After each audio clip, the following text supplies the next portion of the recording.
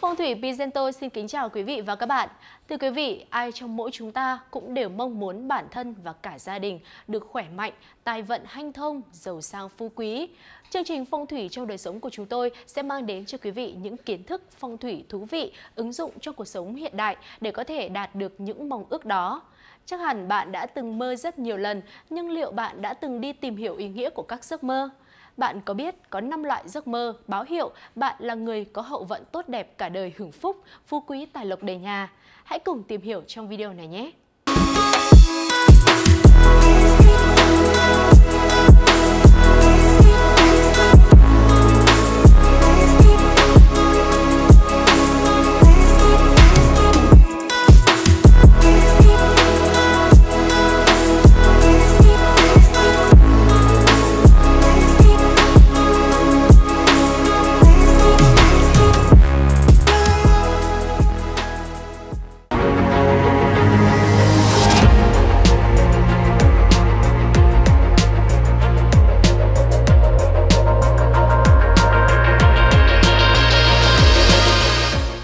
Nếu bạn mơ thấy năm giấc mơ này thì chúc mừng bạn, bạn là người có hậu vận tốt đẹp cả đời, hưởng phúc, phú quý, tài lộc đầy nhà. 1. Mơ thấy mình đếm tiền Theo giải mã giấc mơ, mơ thấy bản thân đang đếm tiền chính là điểm lành, báo hiệu tương lai sẽ thành công trong sự nghiệp. Cụ thể, đây là giấc mơ báo hiệu công việc sắp tới của bạn sẽ gặp nhiều xuân sẻ. Một chút khó khăn sẽ dần được tháo gỡ, bạn còn được quý nhân phù trợ, giúp nhanh đạt được thành công tài lộc. Với người chưa có gia đình, giấc mơ này báo hiệu sắp tới chuyện tình cảm của bạn sẽ hết sức thuận lợi, có thể sẽ gặp được ý trung nhân của mình. Với người đã có gia đình, giấc mơ này điểm báo một cuộc sống giàu sang phú quý, vợ chồng viên mãn, hạnh phúc, bền chặt. 2. Mơ thấy rắn Trong giải mã giấc mơ thì mơ thấy rắn ẩn chứa nhiều ma lực huyền bí. Trong đó, điểm báo tài lộc, rắn vốn được coi là loài vật tượng trưng cho sự quyền lực, mạnh mẽ, Giấc mơ thầy rắn chứng tỏ tài lộc của bạn sắp trở nên dồi dào, gặp may về tài chính. Bạn có thể được quý nhân phù trợ hoặc có nguồn thu bất ngờ. Giấc mơ này còn mang đến điểm báo bạn có cơ hội tiến xa hơn trên con đường công danh sự nghiệp. Nếu bạn đang trong một dự án, thương vụ làm ăn, giấc mơ này báo hiệu kết quả đạt được rất tốt đẹp, mọi sự được hành hồng thuận lợi. 3. Giấc mơ thấy cá bơi lội Cá vốn được coi là loài động vật biểu tượng cho sự may mắn.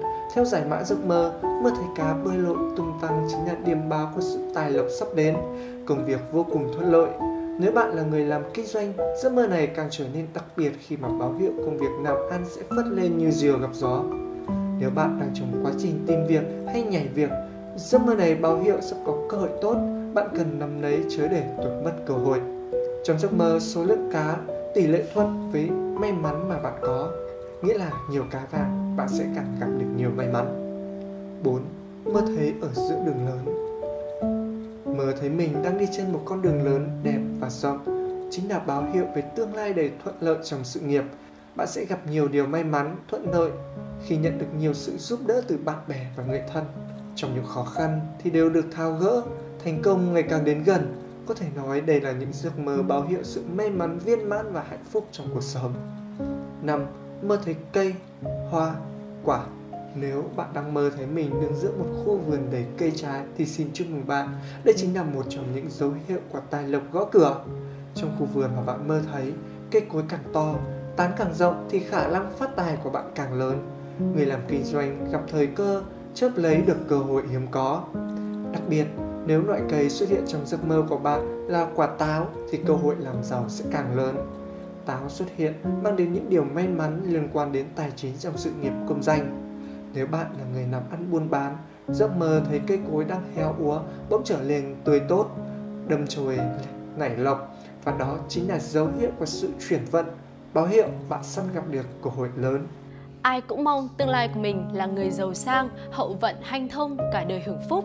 Vậy nếu bạn mơ thấy năm kiểu giấc mơ mà phong thủy Pizento vừa kể tên thì chúc mừng bạn vì nó báo hiệu bạn sẽ phát tài trong tương lai. Cảm ơn sự quan tâm theo dõi của quý vị và các bạn. Đừng quên nhấn nút đăng ký để không bỏ lỡ bất kỳ video nào chia sẻ những kiến thức phong thủy ứng dụng cho đời sống của phong thủy Pizento, một thương hiệu con của Kisato Group. Chúc bạn cùng gia đình thật nhiều tài lộc và bình an.